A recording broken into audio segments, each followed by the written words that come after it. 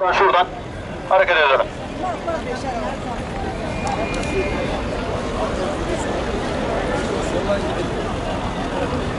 Hadi yavaş, yavaş bak, yavaş. Arka tarafta ihtiyarlar var. Yavaş. Lütfen, beni geçmeyin.